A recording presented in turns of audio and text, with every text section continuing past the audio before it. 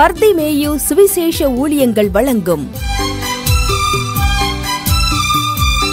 நற்செய்தி நேரம். தேவ செய்தி பாஸ்டர் ஆர் அகஸ்டின். இந்த நாளில் உங்களோடு நான் பேசி வருகிறேன். அவர் அதிசயங்களை செய்கிற தேவன். அதிசயத்தை காண பண்ணுகிற தேவன். எனக்கு அன்பாளர்களே அவர் பேரை என்னது? ஏசாயா ஒன்பது ஆறில் வாசிக்கிறோம். அதிசயமானவர் ஆறுதல் தருகிறவர் வல்லமையுள்ளவர் சமாதானக்காரனர். அந்த தேவன் நம்மோடு உடன்படிக்கை பண்ணுகிறார். எனக்கு அன்பானோலே வானத்திற்கும் பூமிக்கும் சகல அதிகாரம் கொண்ட தேவன். நம்மகிட்ட உடன்படிக்கை பண்ணுறதுக்கு நமக்கு என்ன தகுதி இருக்குது சொல்லுங்க பார்ப்போம் இன்னைக்கு உலகத்தில் எத்தனையோ பேர் உடன்படிக்கை பண்ணுறாங்க நான் கடைசி வரைக்கும் உன்னை கைவிட மாட்டேன். காதலிக்கும் போது கூட எத்தனை பேர் சொல்கிறான் கடைசியில் கொஞ்ச நாளில் கைவிட்டு போயிடுறான்.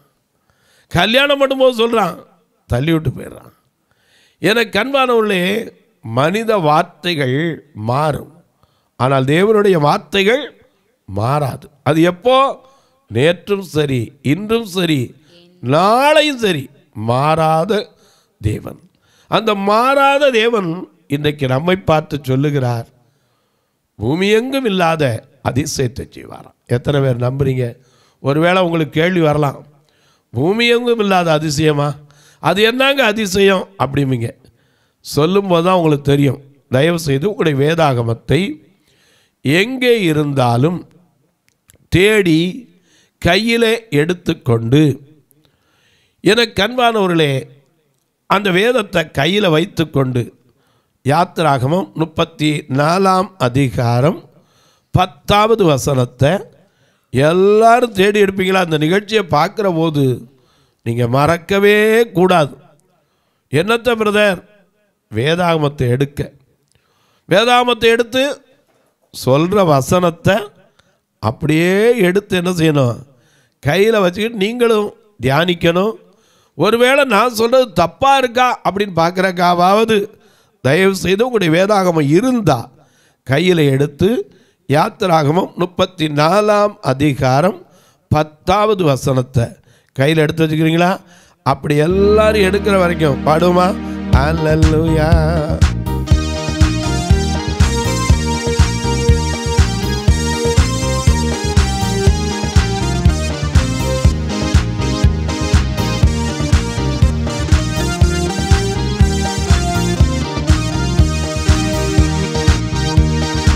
இயேசுவின் பிள்ளை நான் செல்வேன். திரும்பி பார்க்க மாட்டேன். திரும்பி பார்க்க மாட்டேன். இயேசுவின் பிள்ளை நான் செல்வேன். திரும்பி பார்க்க மாட்டேன். திரும்பி பார்க்க மாட்டேன். உலகமில் பிள்ளை சிலுவையில் உள்ள உலகமில் பிள்ள சிலுவையில் உள்ள இயேசு செல்லிய ரத்தத்தினாலே என்றும் விடுதலை. எல் இயேசு செல்லிய என்றும் விடுதலையே. இயேசுவின் பிள்ளை நான் செல்வேன். திரும்பி பார்க்க மாட்டேன் திரும்பி பார்க்க மாட்டேன்.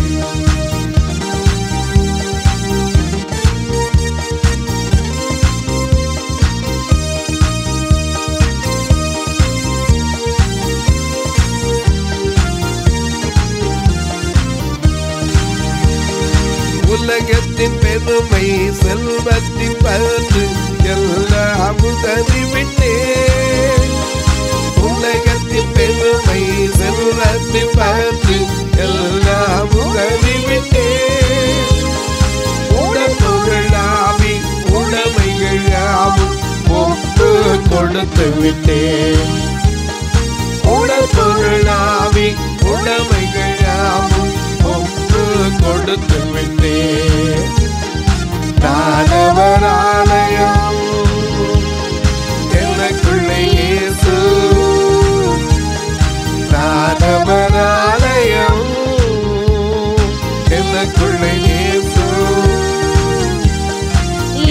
என்ன நடந்தாலும் எப்போதும் துதித்திடுவேன்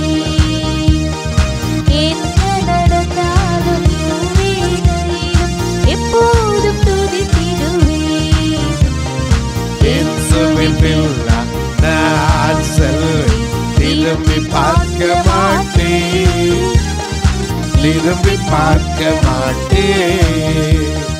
வேதனை துன்பம் இன்னல்கள் இடர்கள் எதுவும் விதைக்காது வேதனை துன்பம் இன்னல்கள் இடர்கள் எதுவும் விதைக்காது வெற்றி வேந்தனில் இயேசுவில் அன்பா முற்றிலும் ஜெயம் பெறுவேன் வெற்றி வேந்தனின்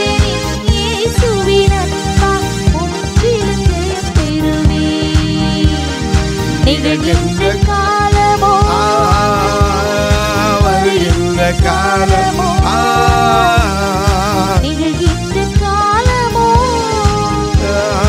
வருகின்ற காலமோ?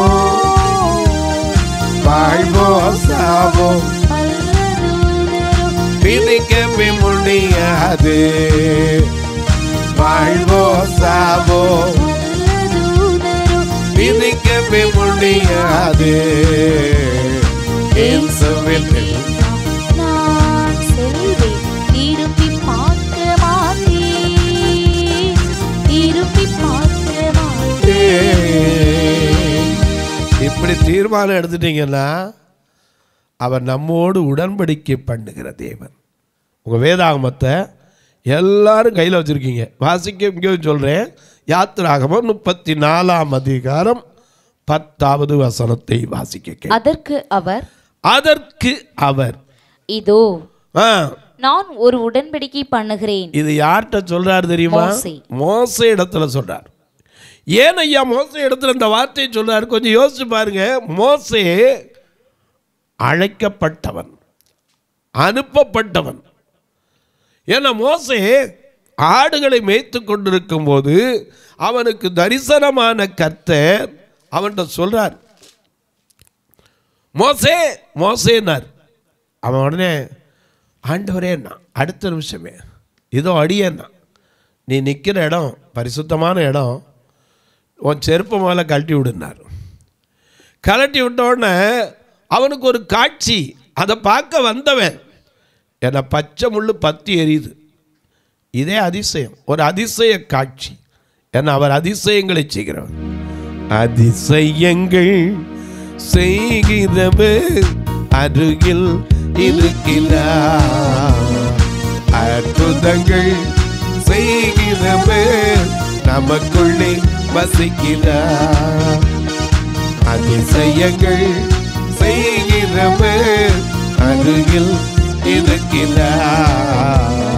அற்புதங்கள் செய்கிறவர் நமக்குள் வசிக்கிறார்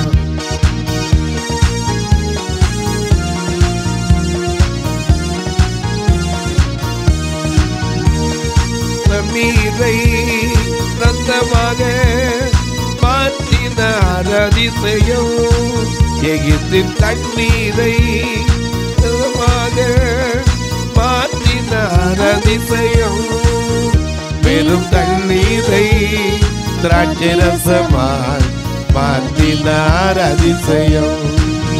வெறும் தண்ணீரை திராட்சை ரசமாய் மாற்றினார் அதிசயம். அதிசயங்கள் செய்கிறவே அருகில் இருக்கிறார். அற்புதங்கள் செய்கிறவர் நமக்குள் வசிக்கிறார்.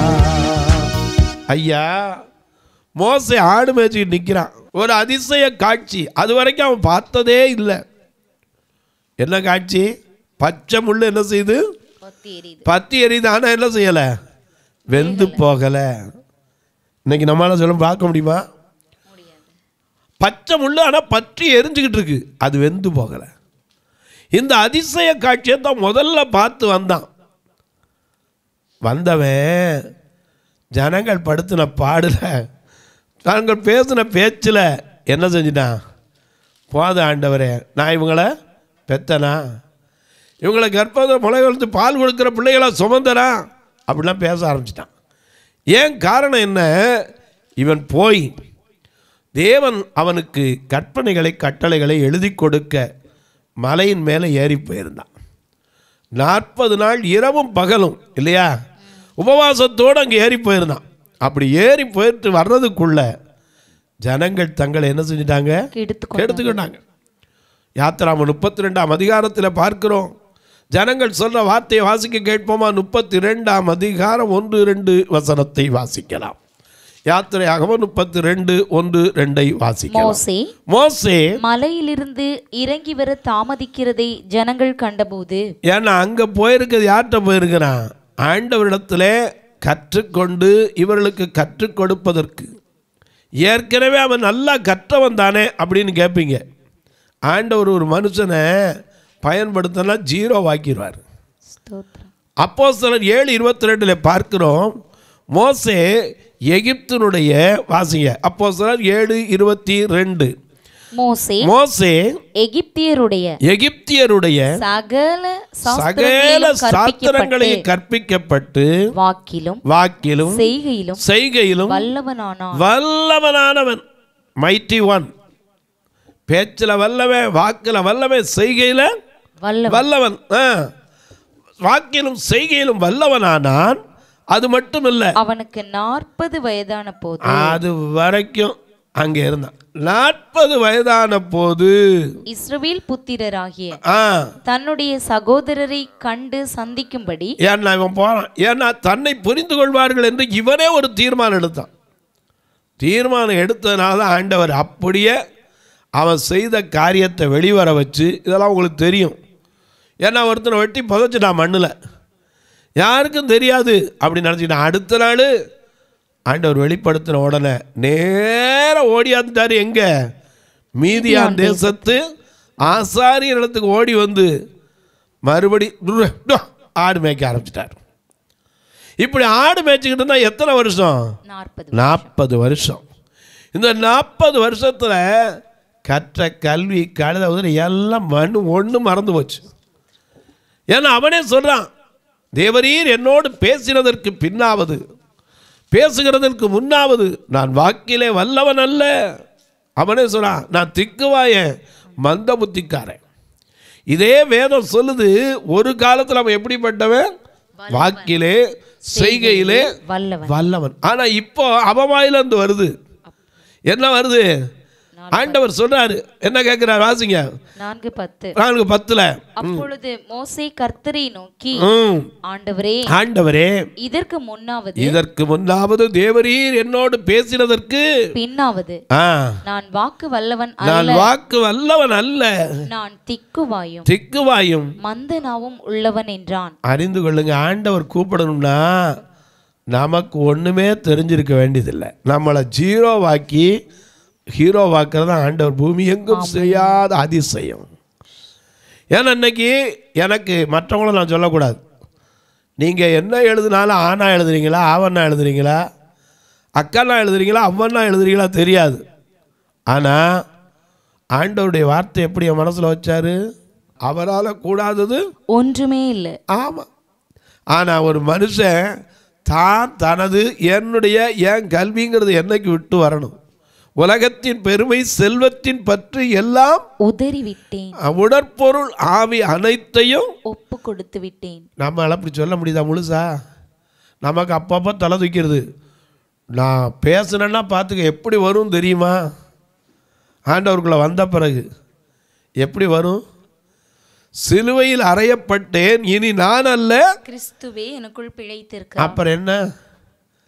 அப்போ சிலுவையில் முழுசாக வைக்கலையா? கொஞ்சம் அறகுறையாக வச்சுருக்கோம். சிலுவையில் அறையப்பட்டுட்டா இனிமேல் இறங்கி வர முடியுமா? அப்போ நம்ம பேச்சு எப்படி இருக்கணும்? ஆண்டவருக்குள்ளே வந்துட்டோன்னா என்ன சொன்னாலும் சரி சபிக்கிறவர்களை ஆசீர்வதிக்கணும் சத்துருவை சிநேகிக்கணும். பகைக்கிறவர்களுக்கு நன்மை நன்மை செய்யணும். தூற்றவங்களுக்காக ஜெபம் பண்ணணும். இது நம்மால முடியுதா? மோசே எல்லாம் விட்டு வந்தாச்சு. என்கிட்ட ஒன்றுமே இல்லை ஆண்டவர் எனக்கு ஒன்றுமே தெரியாதுன்னா. அவனை எடுத்து பயன்படுத்தி அழைத்து பார் உன்னை பார்வோனுக்கு தேவனாக்கினேன் அப்படின்னு கொண்டு வந்தார். அப்படி வந்த மோசே இந்த ஜனங்கள் நடந்து கொண்ட விதத்தை பார்த்து தேவன் நடத்தின விதத்தை பார்த்து அவனுக்கு ஒரே கோபம் வந்துருச்சு. எழுதி கொடுத்த கற்பலகையை தூக்கி உடச்சிவிட்டான் நீங்கள் வேதத்தில் நல்லா உட்காந்து படித்து பார்த்தீங்கன்னா தெரியும்.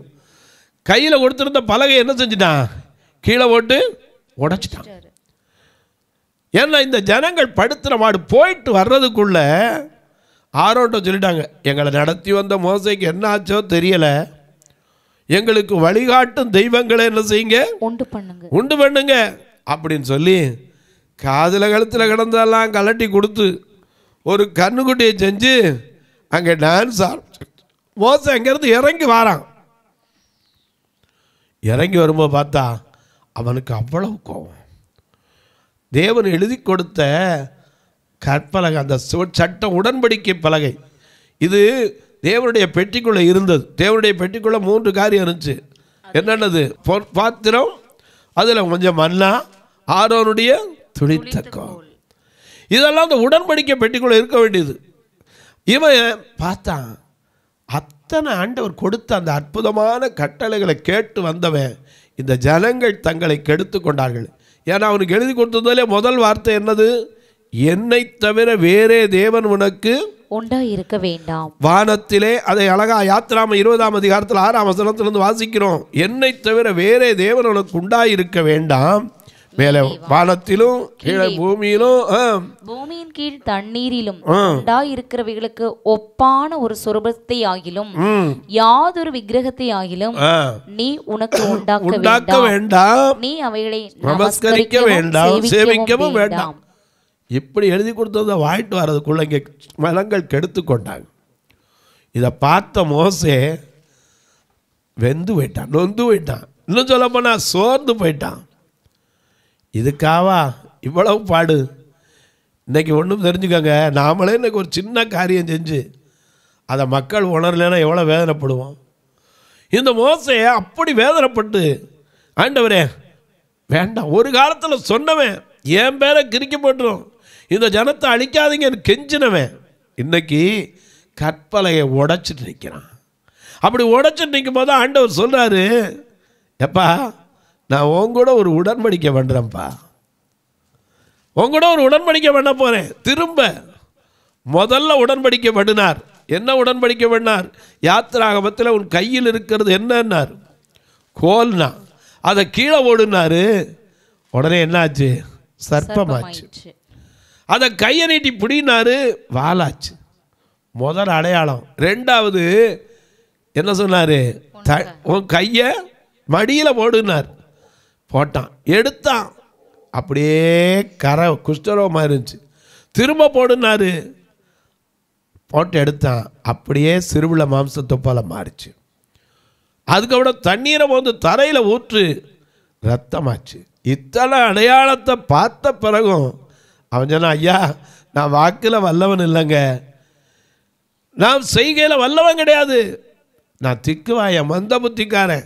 அவன் சொன்னா நீ போ உன் வாய்க்கு ஆரோனை என்ன செய்வேன்? வைப்பேன்னார் அவன் உனக்கு வாயா இருப்பான்னார் அப்பவும் பலப்படலை. அப்போ தான் மோசையை சொல்கிறான் ஆண்டவர் கேட்குறார் மோசையிட்ட பதினோரு அவசரம் நாலு பதினொன்று. அப்பொழுது கத்தர் மோசையை நோக்கி மனுஷனுக்கு வாயை உண்டாக்கினவர் யார்? ஊமையனையும் செவிடனையும் பார்வை உள்ளவனையும் குருடனையும் உண்டாக்கினவர் யார்? கத்தராகிய நான் அல்லவோ? ஆதலால் நீ போ. நீ போ. நான் உன் வாயோடே இருந்து வாயோட இருந்து நீ பேச வேண்டியதை உனக்கு போதிப்பேன் உனக்கு போதிப்பேன். ஏன்னா நாம பாடுறோம்ல. என்னை என்றும் போதித்து நடத்துபவரே. கண்ணில் வைத்து ஆலோசனை சொல்லுபவரே. என்னை என்று போதித்து நடத்துபவரே. கண்ணில் வைத்து ஆலோசனை சொல்லுபவரே. நடக்கும் வழிதனை காட்டுபவரே. நம்பி வந்தோரை கிருவை சூழ்ந்து கொள்ளுதே. நடக்கும் வழிதனை காட்டுபவரே. நம்பி வந்தோரை கிருவை சூழ்ந்து கொள்ளுதே. ஆடை கல்லமை உமதடிமை மயிலாரி ஆர்ப்பரிப்பேனே பேரே அகமகிழ்ந்து. கத்தர் நீ செய்த நன்மைகளையே. நித்தம் நித்தம் நான் நினைப்பேனே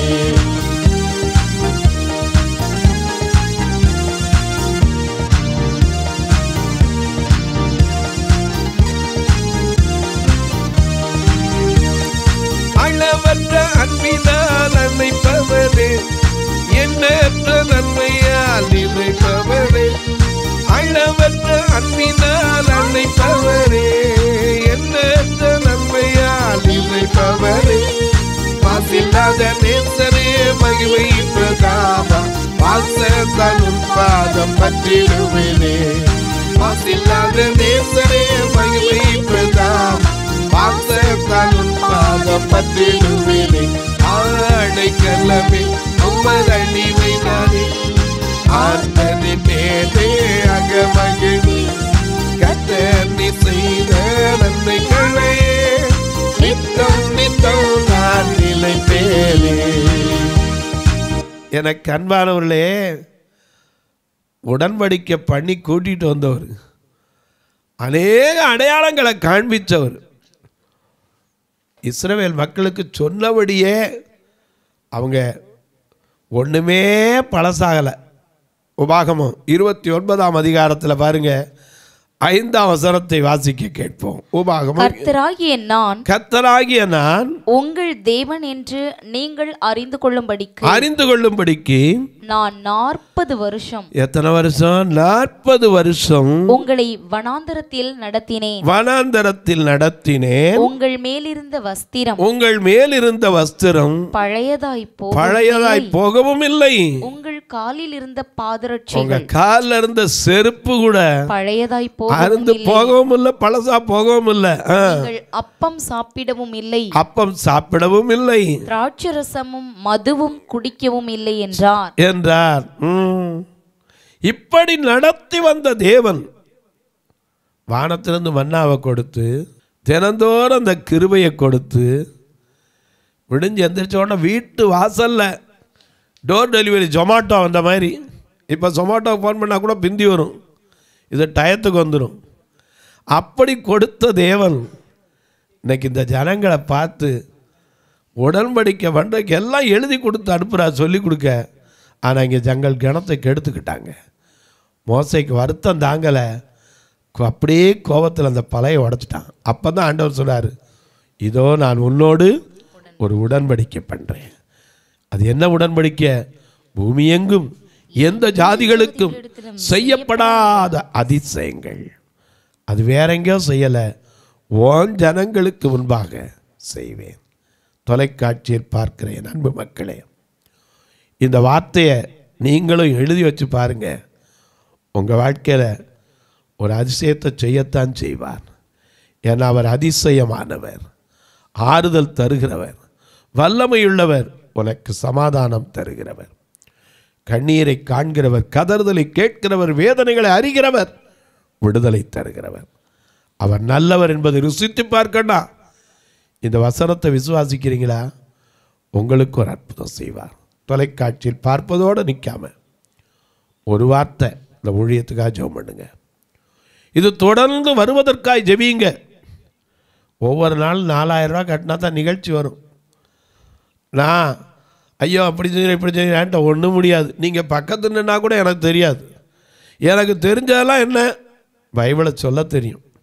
ஆண்டவர் கொடுத்துருக்கிறது ஒன்று தான் அதுதான் பெரிய சொத்து. இந்த உலகத்திலேயே எவ்வளவு பணம் பெட்டி வெட்டியாக வச்சுருந்தா கூட தீர்ந்து போயிடும் ஆனால் அவருடைய வேத வசனம் தேனிலும் தேன் கூட்டிலிருந்து ஒழுகும் தெளி தேனிலும். மதுரமான அந்த வார்த்தை அள்ள அள்ள குறையாது. இன்றைக்கும் கொடுத்துக்கிட்டு இருக்கு. முப்பது வருஷ காலம் அந்த ஊழியத்தில் நிற்கிறேன். ஆண்டவர் இன்றைக்கு நடத்துகிறார். நீங்கள் இதற்காய் ஜெவியுங்கள் திருநெல்வேலியில் கட்டப்படுகிற ஆலயத்தில் எத்தனையோ காரியம் செய்யப்படுது. இப்போ தான் சமையலுக்கு ஒரு ரூம் கட்டி வரோம். சொல்லப்போனால் உட்காந்து சாப்பிட்ற கூட இடமெல்லாம் செப்டிக் டேங்க் மேலே உட்காந்து சாப்பிட்டுக்கிட்டு இருந்தாங்க. அந்த மூடியில் இன்றைக்கி சம அதை உட்காந்து சாப்பிட்றதுக்கு ஒரு இடத்த கட்டிட்டு வரோம். அது மட்டும் இல்லை பார்வையற்றோர் தங்குறது கூட சரியான படுக்கிறதுக்கு இடம் இல்லை மேலே மழை காலம் தகரம் போட்டு இந்த மாடி இப்போ ஒழுக செய்யுது. கீழே அறைகள் கட்ட முடியாமல் இன்னும் சிரமப்பட்டுக்கிட்டு இருக்கோம். கத்தர் ஏவினால் நீங்களும் தாங்கலாம். வருகிற ஞாயிற்றுக்கிழமை எல்லாருமே பார்வை இல்லாதவங்க. திருநெல்வேலியில் பார்த்தீங்கன்னா போய் கூட்டிகிட்டு வந்தால் தான் உண்டு. இவங்களுக்கு வாகனத்துக்கு மட்டுமே ஒரு நாளைக்கு மூவாயிரம் நாலாயிரம் வாரம் செலவழிக்கிறோம். ஏன்னா ரெண்டு கண்ணும் தெரியாதவங்க. கண்ணு தெரிஞ்சால் எப்படியா வந்திருக்கேன்ருவேன் நான். ஒருத்தருக்கு கண்ணு தெரியாது ஒருத்தருக்கு ஒருத்தர் கூட்டிகிட்டு வேற வரணும். அதனால் இவர்களுக்காக ஒரு வாகனத்தை கத்த தரணும் நல்ல வாகனத்தை தரணும் அவங்கள அழைத்து கொண்டு வருவதற்கு. என்னால் நினச்சி பார்க்க முடியல. ஆனால் ஆண்டவர் சொல்கிறார் பூமி எங்கும் இல்லாத அதிசயத்தை செய்வேன். அவர் சொல்கிறார் நிச்சயமாக செய்வார். நீங்களும் செய்வீங்க எப்படி பிரதர் உங்களை தொடர்பு கொள்ள? எனக்கு கண்பாருடைய ரெண்டு ஃபோன் நம்பரையும் டிஸ்பிளேயில் வரும். நீங்கள் பார்க்கலாம் ரெண்டுலேயுமே கூகுள் பே ஃபோன்பே கட்டாயம் பார்க்கலாம் இல்லை என்கிட்ட கேட்கலாம். அதுவும் இல்லை. ஐயா வந்து நேரம் பார்க்கட்டா தாராளமாக வாங்க ஃபோன் பண்ணிட்டு வாங்க. அலைஞ்சிடாதீங்க. உங்கள் ஜபக்காரியம் எது இருந்தாலும் சரி. காலை பத்து மணிக்கு மேலே ஃபோன் பண்ணுங்கள் ஏன்னா காலையில் நான் தெருவில் பிரசங்கம் பண்ணுற ஆள். இந்த ஊழியமாக தான் அடித்தளம். தெருவில் போய் நின்று ஆண்டவருடைய வார்த்தையை சொல்லுவேன். ஆகையினால பத்து மணிக்கு மேலே கூப்பிட்டிங்கன்னா உங்களுக்கு ஜெபிப்பேன்? இப்போ உங்களுக்கு ஜெபிக்கட்டுமா? நல்ல பிதாவே. நன்றியோடு துதிக்கிறோம். இந்த நல்ல நாளில் அதிசயம் செய்கிற தேவன். அதிசயங்களை காண பண்ணுகிற தேவன். பூமி எங்கும் எந்த ஜாதிகளுக்கும் செய்யப்படாத அதிசயத்தை செய்கிறவர். இப்போதும் யார் யார் எந்தெந்த நிலையிலே எந்தெந்த சூழ்நிலையிலே இந்த வார்த்தையை நம்புறாங்களோ அவர்களுக்கும் அதிசயம் செய் இயேசுவின் நாமத்தில் ஜெபிக்கிறேன் நல்ல பிதாவே. ஆமேன். சபை ஆராதனை ஞாயிறு முதல் ஆராதனை காலை எட்டு மணி முதல் பத்து மணி வரை. இரண்டாவது ஆராதனை காலை பதினோரு மணி முதல் ஒரு மணி வரை. இடம் பர்திமேயு சுவிசேஷ ஊழியங்கள் அன்னை சத்யா நகர் இளமனூர் அஞ்சல் சக்கிமங்கலம் வழி மதுரை மாவட்டம். பின்கோட் ஆறு இரண்டு ஐந்து இரண்டு பூஜ்ஜியம் ஒன்று. சிறப்பு உபவாச கூட்டம் ஒவ்வொரு மாதமும் இரண்டாவது சனிக்கிழமை காலை பத்து மணி முதல் ஒரு மணி வரை Nagercoil water tank road imperial திருமண மண்டபத்தில் நடைபெறுகிறது. ஒவ்வொரு மாதமும் நான்காவது சனிக்கிழமை காலை பத்து மணி முதல் ஒரு மணி வரை திருநெல்வேலி புதிய பேருந்து நிலையம் அருகிலுள்ள கிரேஸ் ஹாலில் நடைபெறுகிறது. தேவ செய்தி பாஸ்டர் ஆர். அகஸ்டின். பாடல் பர்திமேயு பாடல் குழு. எங்கள் எல்லா ஆராதனைகளிலும் கலந்து கொண்டு தேவனை மகிமைப்படுத்த அன்பாய் அழைக்கிறோம். உங்கள் உதாரத்துவமான காணிக்கைகளால் இவ்வூழியத்தை தாங்க விரும்பினால் ஆர் அகஸ்டின் அக்கவுண்ட் நம்பர் ஐந்து பூஜ்ஜியம் இரண்டு ஒன்று மூன்று ஆறு நான்கு மூன்று ஒன்று IFSC code IDIB triple zero B zero double six. Indian bank B B Kulam Madurai. உங்கள் தொடர்புக்கு பாஸ்டர் ஆர் அகஸ்டின் பர்திமேயு சுவிசேஷ ஊழியங்கள் நாகமலை புதுக்கோட்டை மதுரை ஆறு இரண்டு ஐந்து பூஜ்ஜியம் ஒன்று ஒன்பது. தொலைபேசி எண்கள் ஒன்பது எட்டு நான்கு இரண்டு ஒன்று எட்டு ஒன்று ஒன்பது ஒன்று ஏழு மற்றும் ஒன்பது நான்கு நான்கு இரண்டு ஐந்து ஐந்து ஒன்பது ஏழு ஏழு இரண்டு. கர்த்தர் தாமே உங்களை ஆசீர்வதிப்பாராக.